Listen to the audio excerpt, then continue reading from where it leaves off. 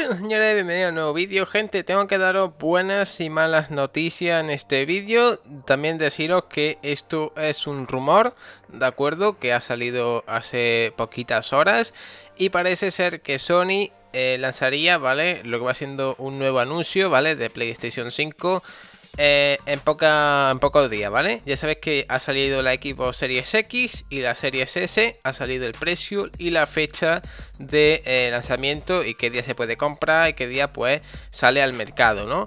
Y ya sabéis que los precios de la equipo eh, Series X como la equipo Series S son súper, súper baratos, la verdad, ya que son videoconsolones y esperábamos un precio más elevado, como unos 600 euros en el caso de Xbox Series X.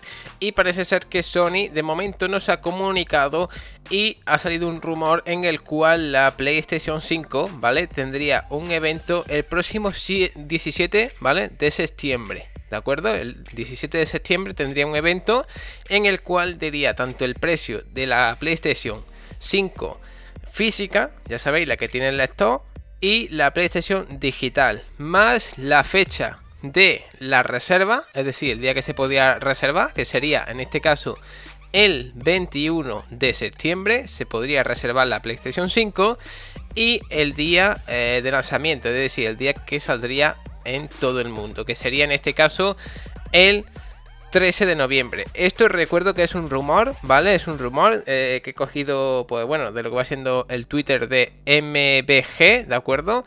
Que bueno, ya sabéis, podéis seguirle, hace bastante noticias sobre esto, eh, también pues filtra cosas, rumores, etcétera, ¿no? Y parece ser que es un rumor bastante potente, ya que tendríamos aquí lo que va siendo el 17 un Stereo Play o un evento, una simplemente un tweet eh, como ha hecho Xbox, en el cual lo haría Sony, que te diría el precio de las consolas, el precio, eh, bueno, el, día de, reserva, que sería en este caso el 21 de septiembre, y el lanzamiento de la consola, que sería el 13 de noviembre, ¿vale? Y el precio, que aquí está las malas noticias, porque teniendo en cuenta que la Xbox Series X teníamos pensado que iba a costar 600 y al final ha costado 500 y es muy bueno ese precio, ya que es la consola más potente de eh, la próxima generación de consola, es decir, va a ser la más potente. Ya sabéis que tiene más potencia que PlayStation. Pues entonces suponíamos que la Play 5 ya no iba a costar 500 euros, iba a costar bastante menos, ¿vale? Unos 450. Pues bien, aquí en este rumor se ha dicho que la PlayStation 5, la de la Store, ¿de acuerdo? Va a costar 500, como se dijo en un primer momento, y la digital no costaría 400, costaría 450.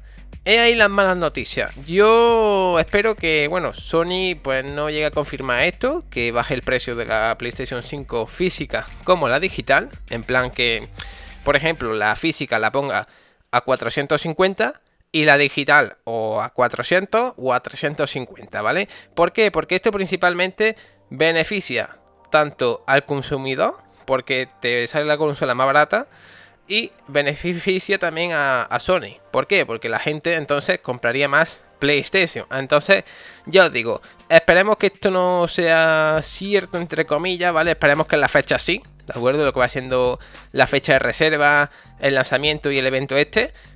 Y eh, que el precio, pues, no sea este, ¿vale? Porque sí que es verdad que, oye, está bien a un buen precio, pero aún así es bastante caro. ¿Por qué? Ten en cuenta que este mismo precio tiene la Xbox Series X y la serie X tiene más potencia, mejores servicios y ya os digo que tenéis el Game Pass que te incluye el online, mil juegos de cuatro generaciones de Xbox, que son mil juegos, 100 juegos de nueva generación, el EA ¿vale? O el EA Play en este caso ahora, eh, y el X Cloud que va a llegar este, este mes, que puedes jugar a todo de Xbox en tu móvil, en tu tablet, donde tú quieras.